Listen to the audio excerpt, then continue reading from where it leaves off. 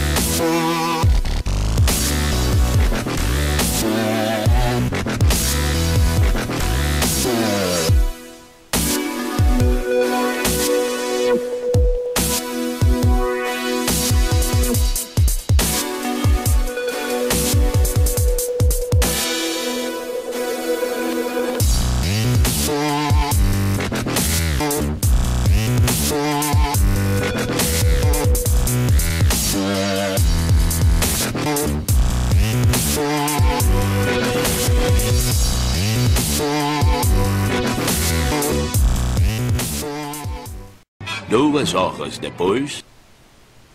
Bom, galera, é, aqui está o nosso presente, né, que eu fiz. Ele ficou, ele não ficou tão bom, né, igual a textura que eu peguei como referência. É, só que eu acho que ficou bem original, uma coisa assim bem bacana para um jogo simples que a gente está fazendo, beleza? Então, esse aqui que a gente vai usar, vai ser essa textura aqui. Usei como referência aqui, como eu tinha falado antes, né? Uh, e você pode ter visto aí, talvez, uma time-lapse time-lapse de, eu fazendo, de eu construindo isso. Só que chegou um momento que eu parei e eu não terminei de fazer ele na time-lapse, porque senão ia pesar muito o vídeo, beleza? E então coloquei mais ou menos o início pra vocês aí. E esse aqui foi o resultado final dele, beleza? Então deixa eu só ajustar aqui, ó. Deixa eu ver um tamanho bom aqui pra poder ficar bem encaixadinho, né? Não ficar sobrando nada de espaço na imagem. Olha só. É... Bom, acho que aqui tá bacana. Agora se a gente ir lá e salvar o nosso projeto, né? Vem aqui em arquivo, salvar como. Vem aqui nossa parte, né? Colocar na textura normal mesmo, que vou colocar na de referência. Vou colocar aqui na texturas. Coloquei presente. Coloquei MG só para identificar que isso aqui é uma imagem, beleza? E sempre quando eu faço meus projetos também, eu gosto de salvar o arquivo .rl, né? É esse arquivo aqui, olha só, o RLI, que é o de camadas, ele salva as camadas do nosso Real WordPad, que, que é o programa que eu uso para editar. Então vou criar nova pasta aqui. Coloca aqui Edit. Que a gente pode vir aqui editar a qualquer momento, beleza? Então vou salvar, só vou mudar o formato, beleza? Então quando eu quiser importar ele com todas as camadas aqui, editar alguma coisa dela, eu posso fazer isso, beleza? Então é isso aí, vamos para o próximo agora, que vai ser o nosso nosso presente, né? deixa eu ver aqui.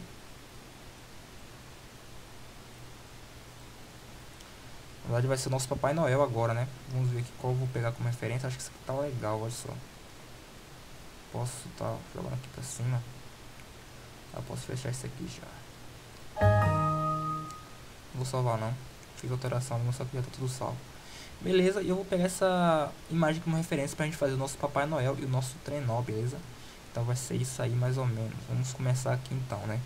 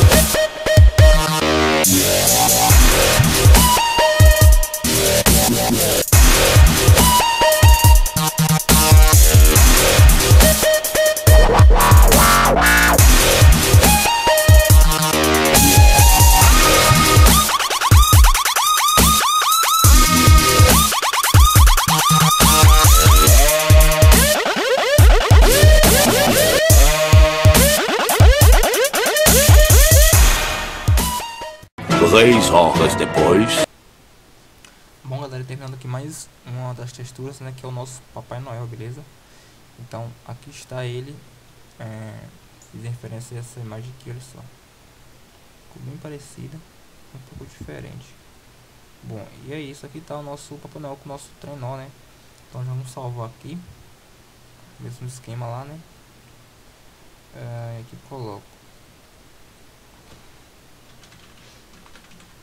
panel.png aqui salvar como. Volta aqui na parte vem edit e salvo essa opção aqui ó. Images real world em camadas. Beleza? Que eu posso alterar as camadas do nosso do nosso textura. Então vamos partir para uma nova né? Que é fazer o nosso querido nossa querida rena essas renas e vamos mover o nosso nosso trenó aqui beleza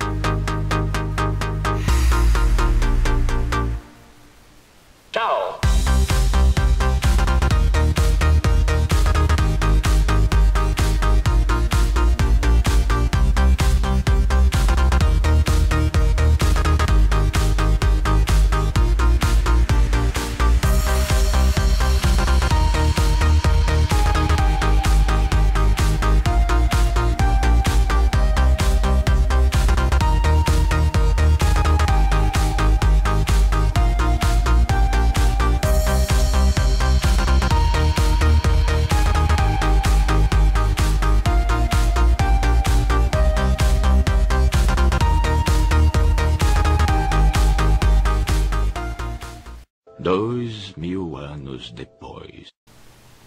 Bom galera, eu estou aqui com a última textura que é a textura da rena, né? Acabei de fazer aqui, tem um pouquinho de trabalho de fazer.